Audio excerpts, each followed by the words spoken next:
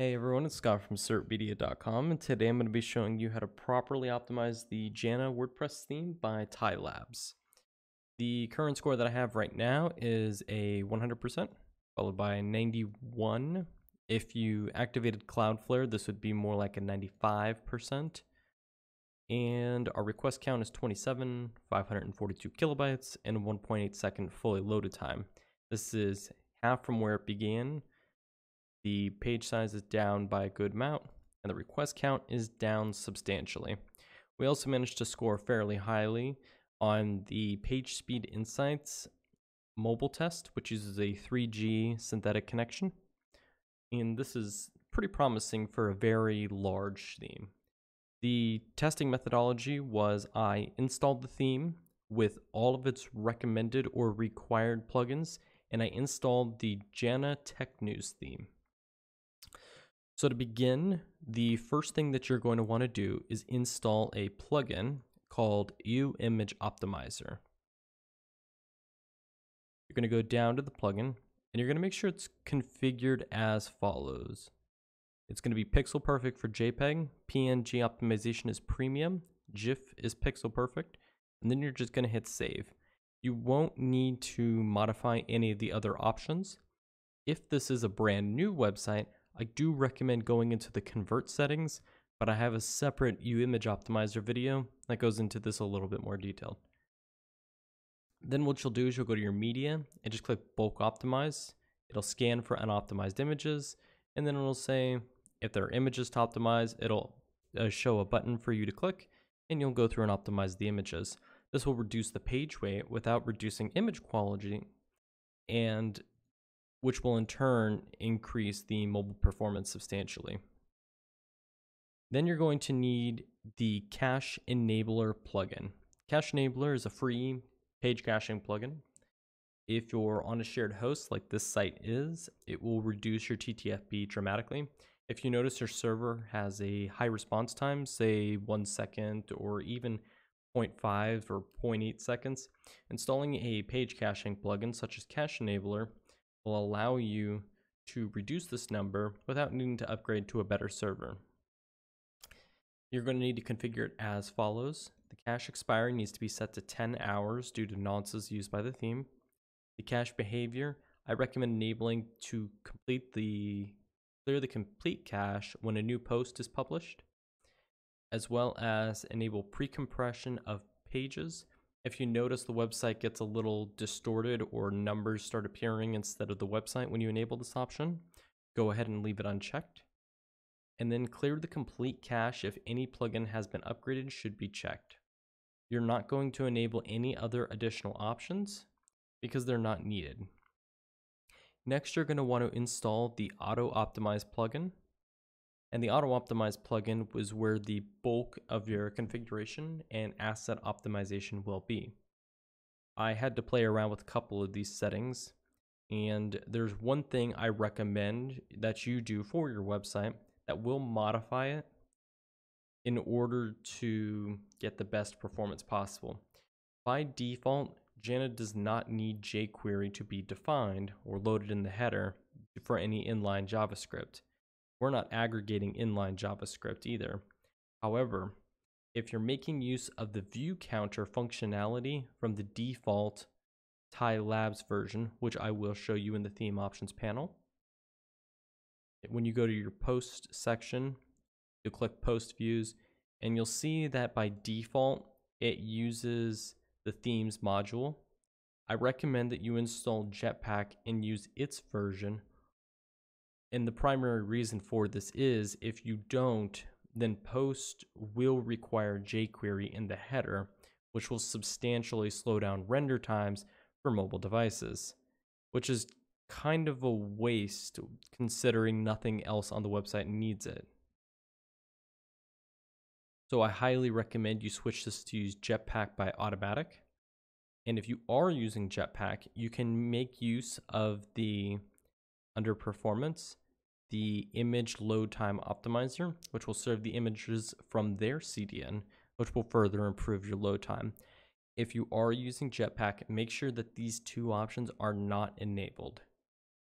This option and this option respectively. Now back to Autoptimize. In the Autoptimize settings, click optimize JavaScript code and aggregate JavaScript files. And then under this section, you'll see an exclusion for jQuery. Remove the exclusion and remove the comma right after tinymce.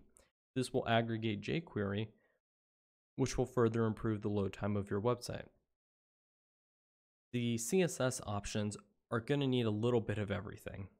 You're going to optimize the CSS code. You're going to aggregate those CSS files. You'll also want to aggregate any inline CSS.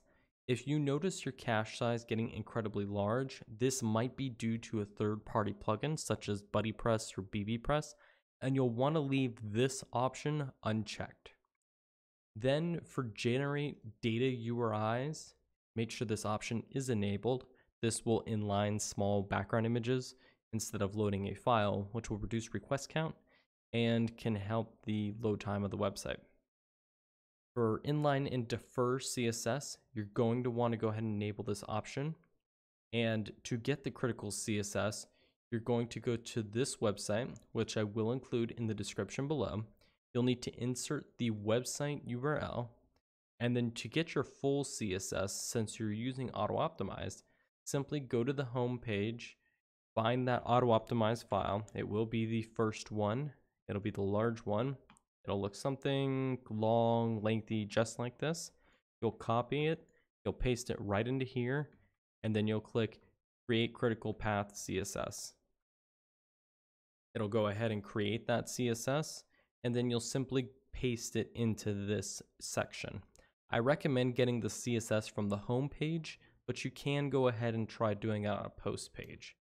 You can also use the Autoptimize API to generate it for different page types and using it with filters and actions to inject that CSS. However, you should really be fine only using it for the homepage CSS. It works for me just fine. Make sure that inline all CSS is unchecked. This option should never be checked. For HTML options, make sure the optimize HTML code option is checked and then just make sure the following options are also checked. If you're using a complex plugin such as BBPress, BuddyPress, or maybe even WooCommerce, you may need to exclude it for logged in users, but this will require your own testing. Finally, the extra section within Autoptimize, you're going to leave Google Fonts as is, and that's because the, the Jannah theme, for better or worse, makes use of the web font loader. I would recommend to the developers to stop using the web font loader and instead include the Google fonts in the header using font display swap. This would allow the CSS files to be hosted locally or preloaded or essentially anything other than loading that second JavaScript library, which really isn't necessary anymore.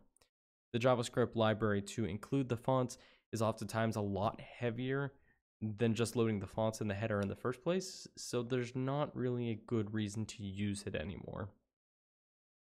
You're also going to want to remove emojis unless for some reason you're using emojis. And then remove query strings from static resources should also be checked. Finally, you're going to want to install a lazy load plugin. I recommend using the Rocket Lazy Load plugin. It's found in the WordPress repository. It's a free lazy load plugin, and you're going to go ahead and check all three options. This will optimize iframes, images, and video embeds on the website so that way they're only loaded once they're scrolled to. You'll notice that this significantly helps mobile users the most. And to prove that it's working, the tech news theme has a trending videos section by default. And as you can see, it's been replaced with a click button to play, and then you play it, and then the video starts playing. And then as you scroll down the website, the images naturally load in. Any other optimization would be the inclusion of some cleanup plugins. Um, I used my Jetpack Remove Device Pixel JS plugin. This removes the device pixel JS from Jetpack. That's not necessarily required, I will put a link in the description to other handy plugins that allow you to optimize certain functions of your website. But following this basic guide above allows you to get the 85 and a 71 all the way up to a 100 and a 95 when using a proper CDN.